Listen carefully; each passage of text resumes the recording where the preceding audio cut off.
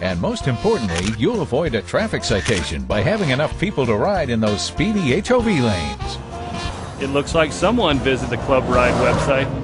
That's right. These diamonds really are a driver's best friend.